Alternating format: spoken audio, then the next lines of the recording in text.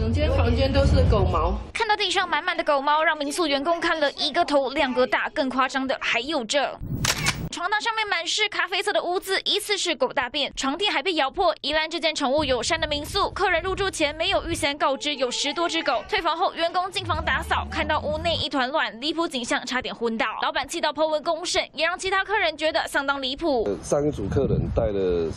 十条狗来，这小狗大小便完全没有清。我们我们自己也有带狗的，马上就要整理了。这就离谱啊！起码大小便当场擦一下、剪一下。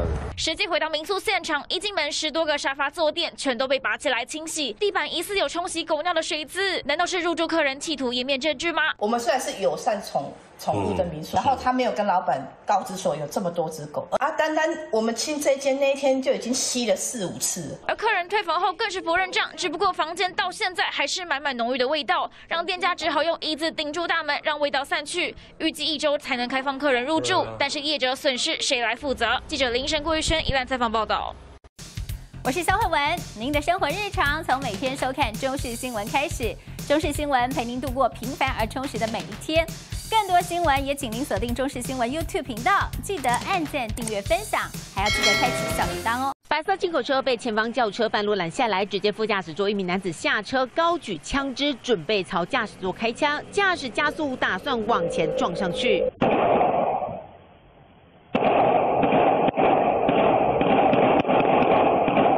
十几声枪响，驾驶躲在车子里面挡子弹，踩了油门想要跑。这时车头已经开始冒白烟，平东市区居然出现当街开枪寻仇。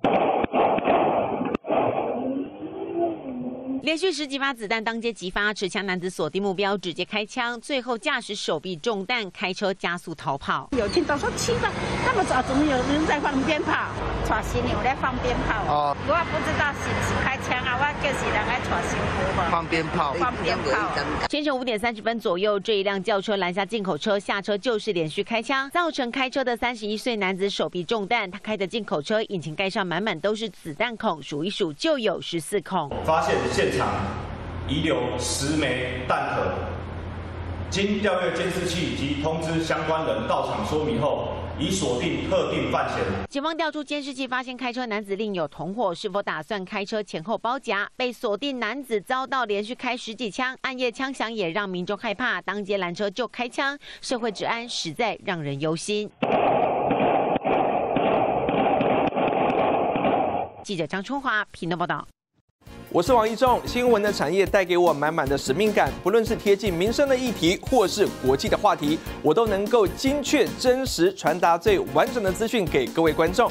当然，更多的新闻请锁定中视 YouTube 频道，记得按赞、订阅、分享，并开启小铃铛哦。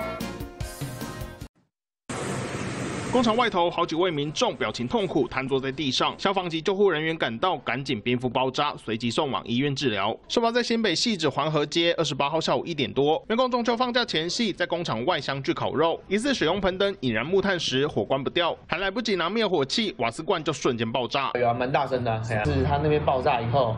然后看一下监视器都有在晃动，然后整个警卫室都有那种震动的感觉。爆炸意外造成一名男员工左手掌及小腿二度烧烫伤，一人脸部、四肢二度烧烫伤，一人左右臂一度烧烫伤。所幸伤者送医后都没有生命危险。消防队提醒：使用喷灯助燃，除了注意瓦斯罐上是否有商品检验标示，也要遵照使用说明操作。另外，也要看看是否有过期。在安装的时候，我们要特别注意这个接合处的地方是否有漏气的异声或异味。阀嘴不要一次开到最大，只要开到微微的就可以点火了。喷灯起火，万一没办法熄灭，消防队呼吁民众务必保持冷静。如果当下没有灭火器，可以将整只喷灯丢进去装满水的水桶里面，防止燃烧爆炸的意外。就王志仁、陈冠宇新北报道。我是李一璇，主播工作对我来说是一秒都不能松懈的战场。张撼动社会大众关心的议题清楚传达出来，更要求自己先是一名认真的记者，才是对观众负责的主播。更多新闻请锁定中视 YouTube 频道，记得按赞、订阅、分享，并开启小铃铛哦。其实经过台中西区的三名西路身边的证明阿贝引起他的注意。是在骑车，穿着白上衣的阿贝屁股坐的超级后面，上半身凹折九十度平贴大腿，手垂在膝盖旁，猛吹油门，姿势超奇葩。觉得可能腰酸吧，就是有时候腰酸要弯一下，这样比较舒服。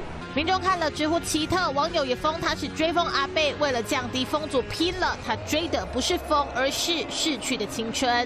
想要享受那个，好像他要跟人家飙车的那种感觉奇葩的追风阿贝引发关注，但警方说阿贝只是姿势特殊，没有违规，而大理的真名骑士就不一样。机车行进中，骑士一个大动作后仰，手放开龙头，双手悬空后伸，像在伸展，又像是大鸟展翅，还是其实他是在做仰卧起坐？真的吗？骑士彻底放飞自我，停等红灯还下车尬舞，惹得民众惊呼连连。有人双手放弃，也有人单手操控，另一只手不是牵脚踏车，就是撑伞拖行李。但骑车还是不要乱做危险动作，小心处罚。接近文都在警城台中采访报道。我是哈远怡，不用说故事写自己的人生故事。有争议的拿证据说，被掩盖的挖出来说，非主流观点我有勇气说。用心说好两千三百万人的故事，我是哈远怡，请锁定中视 YouTube 频道，记得帮我们按赞、订阅、分享、开启小铃铛哦。